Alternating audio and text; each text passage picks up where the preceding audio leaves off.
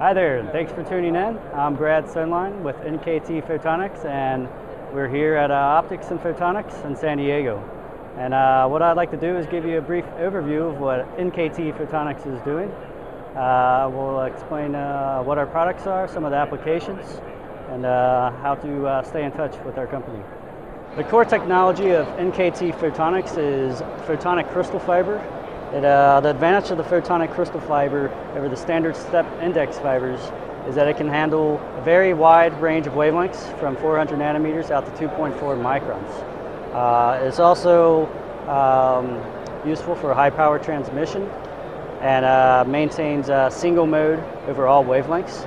Uh, we have solid core fibers as well as hollow core fibers where you could use them to propagate ultra fast femtosecond pulses.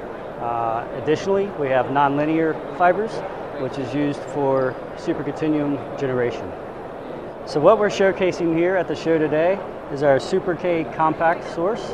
It's uh, the world's most affordable supercontinuum source at uh, less than 9K US dollars. Uh, this source operates at a repetition rate up to at least 20 kilohertz and down to 1 hertz, uh, completely uh, adjustable by the front panel control. The wavelengths coming out of each pulse uh, ranges from 450 nanometers out to 2400 nanometers. Uh, the total power is 110 milliwatts of optical power. Uh, inside our supercontinuum sources, uh, we often have to splice the photonic crystal fiber uh, to standard fiber.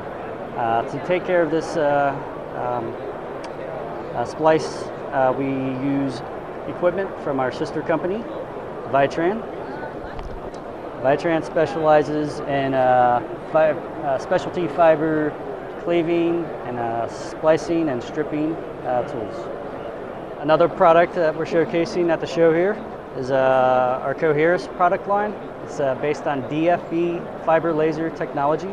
We offer solutions at one microns and one and a half microns with very narrow line width, single mode, TEM00 output. Um, the, the, line width uh, is on the order of less than 100 hertz, and we can provide a tuning range of one nanometer.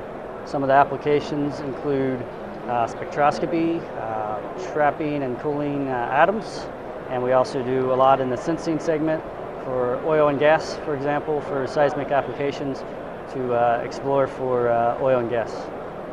Thanks again for tuning in. This is Brad Sohnlein with NKT Photonics. For more information, please join us on the web at www.nktphotonics.com or follow us on Twitter at nkt underscore photonics. Thank you.